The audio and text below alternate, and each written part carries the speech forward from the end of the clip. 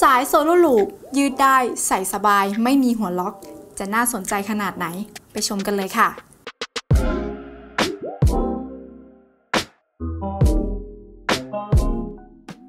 สวัสดีค่ะอิฟจิจาก iMod ค่ะ หลังจากที่มีการเปิดตัว Apple Watch Series 6และ SE ให้หลาย ๆ คนได้เป็นเจ้าของกันที่เรียบร้อยแล้วนะคะ ก็มีการเปิดตัวสายแบบใหม่ที่สามารถใช้งานได้กับ Apple Watch ทั้ง 2 รุ่น นั่นก็คือสาย Solo Loop ที่สามารถยืดได้สวมใส่สบาย และไม่มีหัวล็อกด้วยค่ะค่ะและนี่ก็คือสายโซโลลูปสีกรมท่าเข้มนะคะ ตัวสายเป็นสายซิลิโคนแบบเหลว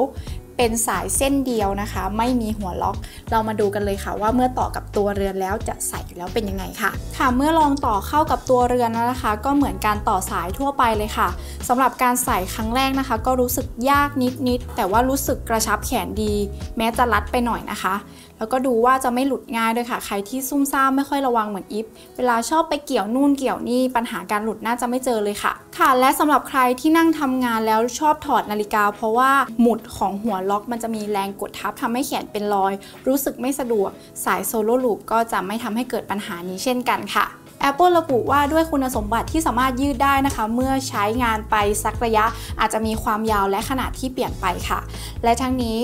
Apple ได้อัปเดตข้อมูลการวัดสายสำหรับการซื้อสาย Solo Loop นะคะ เพื่อที่จะทำให้เราได้สายที่พอดีกับแขนอีฟก็ได้แนบลิงก์ไว้ใต้คลิปนี้แล้วค่ะ ค่ะและสำหรับสาย Solo Loop นี่นะคะก็เหมาะกับคนที่ต้องการสายที่กระชับแขนหน่อยทำกิจกรรม extreme ทำกิจกรรมกลางแจ้ง ออกกำลังกายไม่ต้องการให้สายหลุดนะคะ น้ำหนักเบา สายแบบ Solo Loop ก็น่าจะเหมาะมากๆเลยค่ะ สายแบบ Solo Loop นะคะ มีให้เลือกทั้งหมด 10 สีในตัวเรือนทั้ง 2 ขนาด ทั้ง 40มิลิเมตรและ 44มิลิเมตรค่ะ และมีการวางจำหน่ายแล้วที่ Apple Store และ Apple Store ออนไลน์ ติดตามและอัปเดตข่าวสารดีๆ แบบนี้ได้ที่ช่อง iMoD Official สำหรับคลิปนี้อีฟก็ขอลาไปก่อน สวัสดีค่ะ